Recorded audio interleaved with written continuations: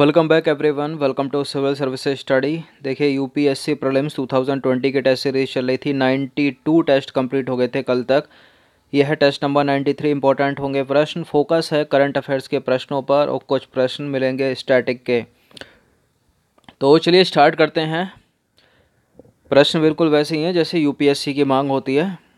छः सात सेकंड का टाइम मिलेगा अपना सोचना कि आंसर क्या, क्योंकि बड़े बड़े स्टेटमेंट में क्वेश्चन तो देखिए, समय कम है, हर दिन प्रैक्टिस करते रहिए। एक सौ उनचास, एक सौ पचास दिन चार्ट बनाकर पढ़िए अपना समय निकाल के।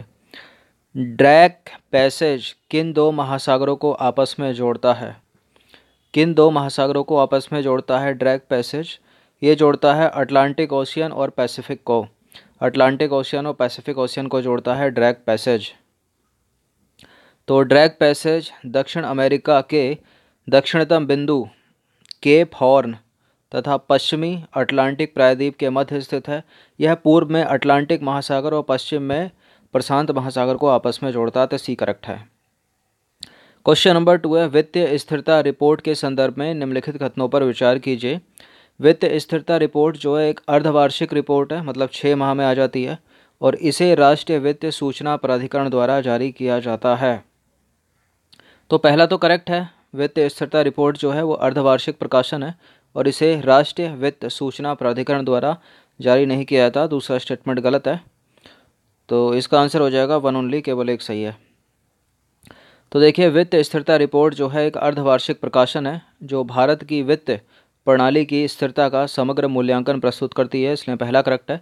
और इसे भारतीय रिज़र्व बैंक आरबीआई द्वारा प्रकाशित किया जाता है, इसलिए दूसरा सही नहीं है। तो आरबीआई द्वारा प्रकाशित किया जाता है, राष्ट्रीय सूचना प्राधिकरण द्वारा नहीं। क्वेश्चन नंबर थ्री है, आकांक्षी जिला कार्यक्रम के से संबंधित निम्नलिखित विषयों पर विचार कीजिए।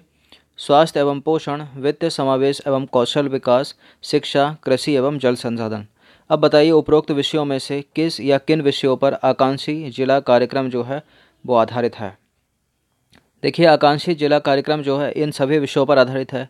शिक्षा पर, कृषि एवं जल संसाधन, वित्तीय समावेशन और कौशल विकास, और स्वास्थ्य और पोषण। तो इसका आंसर हो जाएगा one, two, three, four, D. तो देखिए, आकांक्षी जिला कार्यक्रम मुख्यतः पाँच विषयों पर, चार तो वहाँ मिल गए आपको। तो स्वास्थ्य एवं पोषण पर आधारित है, शिक्षा पर आधारित है, कृषि एवं जल संसाधन, और वित्तीय समावेश एवं कौशल विकास, बुनियादी आधारभूत ढांचे पर केंद्रित है। क्वेश्चन नंबर फोर है मांडू फेस्टिवल मांडू महोत्सव के संदर्भ में निम्नलिखित कथनों पर विचार कीजिए। देखिए मांडू महोत्सव जो है, इस महोत्सव या उत्सव का आयोजन तमिलनाडु सरकार द्वारा किया गया है और इसका उद्देश्य मांडू शहर की मिश्रित ऐतिहासिक धरोहरों और संस्कृति को आधुनिक जीवंतता प्रदान करना है। देखिए, अगर कल की करंट अफेयर्स या परसों की करंट अफेयर्स अगर अच्छे से देखी होगी तो इस क्वेश्चन को करेक्ट कर ले जाओगे। मांडू फेस्टिवल जो है, तमिलनाडु की सरकार का नहीं है, गलत है एमपी का ये। मध्य प्रदेश का है और इसका उद्देश्य मांडू शहर की मिश्रित ऐतिहासिक धरोहरों और संस्कृति को आधुनिक जीवंतता प्रदान करना। दूसरा करेक्ट है। अब इसमें पूछा क्या निम्नलिखित में से कौन सा कथन सही नहीं है? तो पहला सही नहीं है। पहला सही नहीं है, दूसरा करेक्ट है। तो अपना आंसर क्या हो जाएगा यहाँ पर? अपना आंसर हो जाएगा ऑप्शन नंबर ए यहाँ नीचे जो लाइन लिखी है कभी कभी इसको हाईलाइट नहीं करता यहाँ देखना ज़रूर कि सही नहीं है पूछा है, सही है पूछा है। वरना पूरा क्वेश्चन उड़ जाएगा इसकी वजह से। तो मध्य प्रदेश के मांडू शहर में 28 दिसंबर 2019 से 1 जनवरी 2020 तक मांडू महोत्सव के पहले संस्करण का आयोजन किया गया।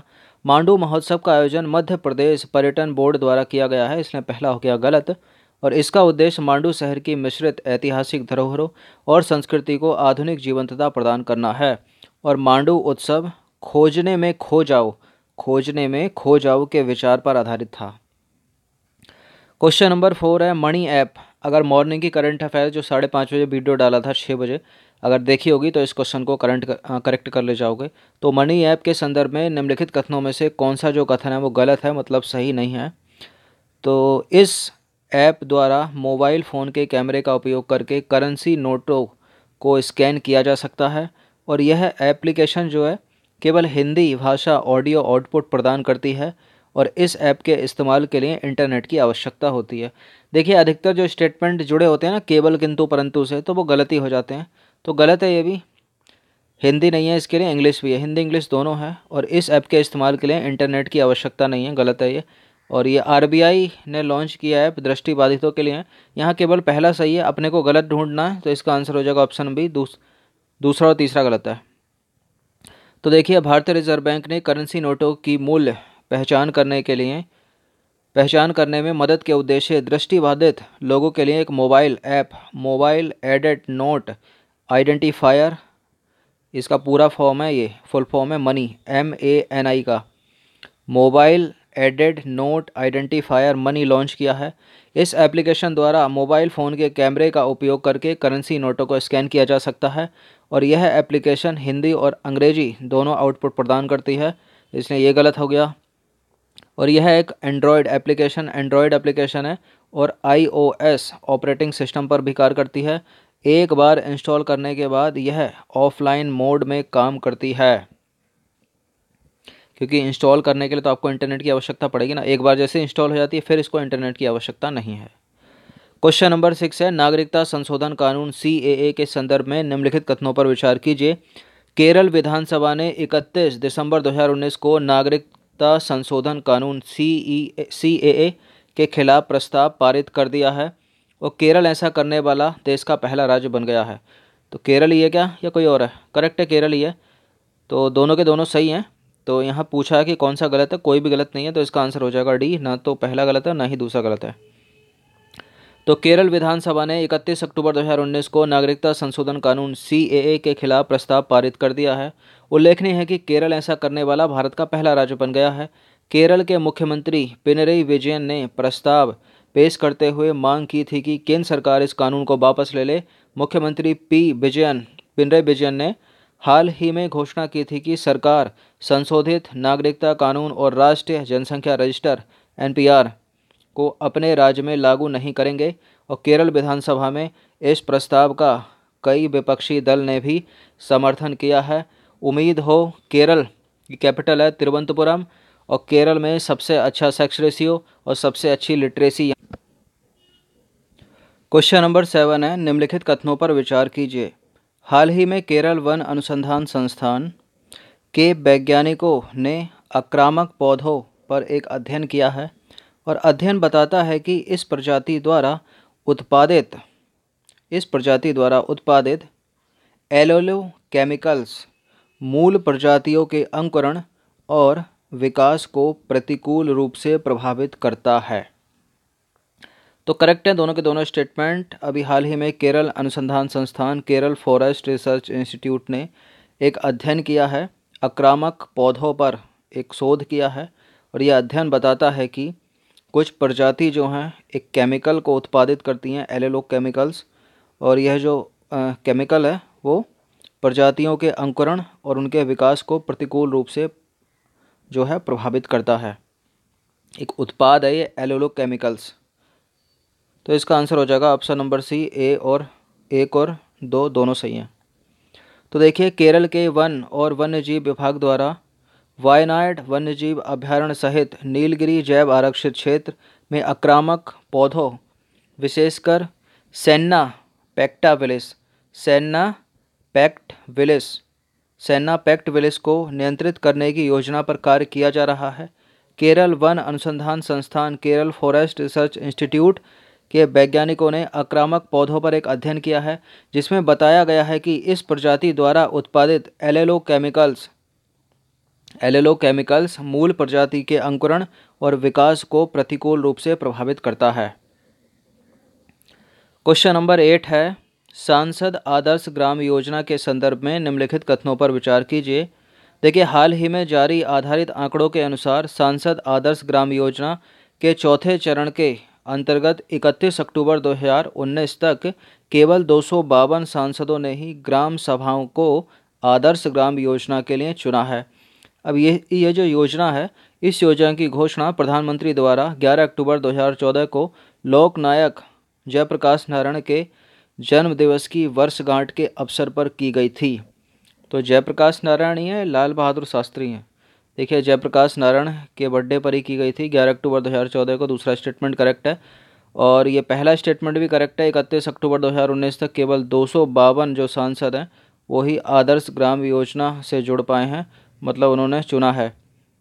तो कौन सा सही है? दोनों के दोनों सही हैं। इसका आंसर हो जाएगा ऑप्शन नंबर सी तो देखिए, हाल ही में जारी आधारित आंकड़ों के अनुसार अक्टूबर 2014 में शुरू की गई सरकार की सांसद आदर्श ग्राम योजना के चौथे चरण के अंतर्गत 31 अक्टूबर 2019 तक केवल दो सौ बावन सांसदों ने ही ग्राम सभाओं को आदर्श ग्राम योजना के लिए चुना था।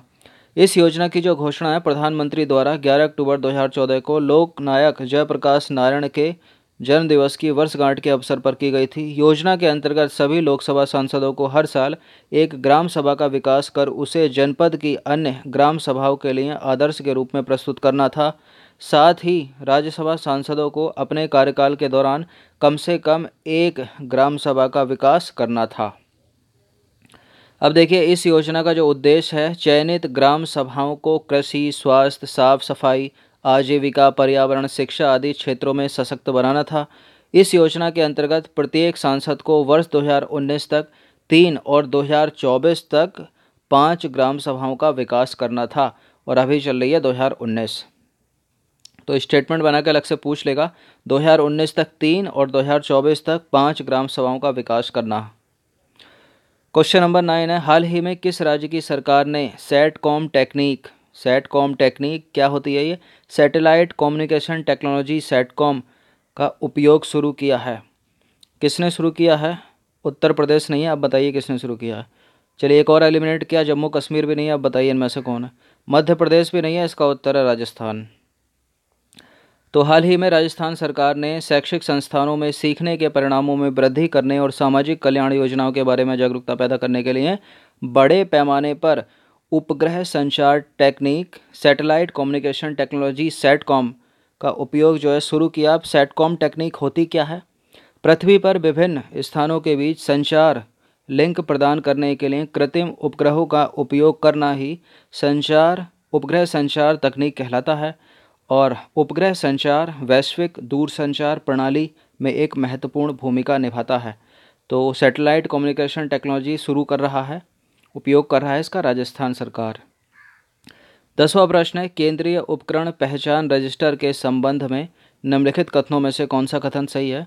हाल ही में संचार मंत्रालय के दूर संचार विभाग द्वारा केंद्रीय उपकरण पहचान रजिस्टर नामक पोर्टल की शुरुआत की गई है और भारत सरकार द्वारा यह पोर्टल दिल्ली राष्ट्रीय राजधानी क्षेत्र के लिए प्रारंभ किया गया है।